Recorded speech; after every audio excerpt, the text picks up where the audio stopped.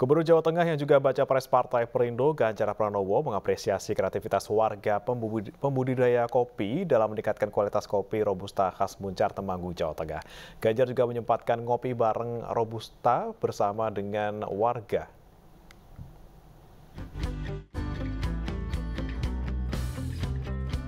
Usai meresmikan Masjid Al-Muttaqin di Desa Muncar, Temanggung, Gubernur Jawa Tengah Ganjar Pranowo menyempatkan diri menikmati kopi khas Muncar bersama warga. Kebiasaan Ganjar ini sekaligus untuk mendengar aspirasi warga. Baca Pres Partai Perindo ini juga mengapresiasi warga yang sudah mulai kreatif mengemas produk kopi mereka dengan sangat rapi dan sesuai standar produk kopi kemasan.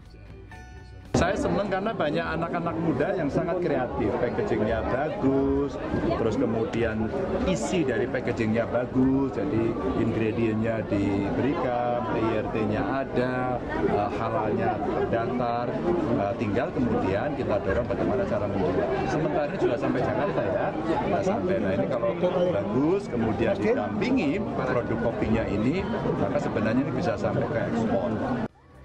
Kopi Muncar sendiri telah dikenal dan sering menjadi juara di berbagai festival kopi nasional. Selain kopi, Kabupaten Temanggung juga dikenal sebagai daerah penghasil tembakau terbaik di dunia. Dari Temanggung, Jawa Tengah, Didik Dono Hartono iNews melaporkan.